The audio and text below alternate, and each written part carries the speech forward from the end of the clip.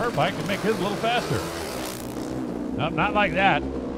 Saw the way he jumped up out of the seat there when he let go of the clutch. That's going to cost him time at this end. Shows up at that end. Oh, how about Matt?